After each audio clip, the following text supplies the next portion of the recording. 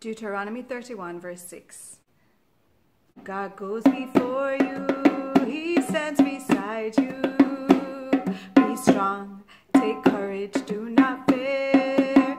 God goes before you, He stands beside you. Be strong, take courage, do not fear. God goes before you, He stands beside you.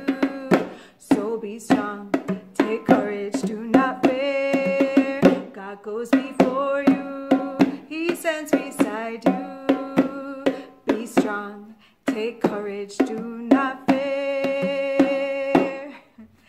Be encouraged. See you next time.